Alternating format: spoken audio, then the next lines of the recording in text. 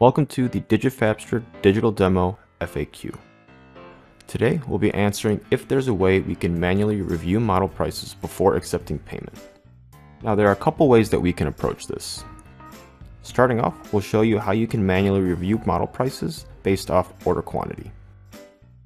In the Machines and Materials tab, go ahead and identify your machine and hop into the settings.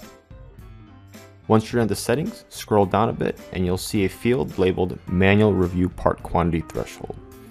Using this parameter, you'll be able to input a value and any order that surpasses that part quantity threshold would be flagged for review. Jumping into the customer facing side, once you start processing your order and go through the flow, we can exemplify this feature by setting the quantity to 200, adding to the cart, and you'll see that the order itself will be submit for review. Anything under 200 will allow the user to confirm the order right on the spot. Another method of manually reviewing payment you can do through the post-production options settings. All you'll need to do is go back to your Machines and Materials tab, select the associated machine with the material, and if you'll scroll all the way down to the post-production section, you'll see that there's a checkbox with the label Trigger Manual Review.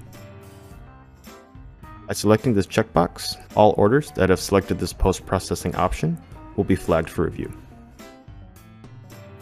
And finally, the third option for setting up a manual payment for review, you'll be able to set up in your Settings tab. We'll scroll down to the Order and Payment column on the right side. You'll see a section that says Order Review Process. Here you can set the dollar amount for the manual order threshold. If you have any other questions about the tool, feel free to visit digifabster.com where you can access the help desk or you can sign up for a free trial.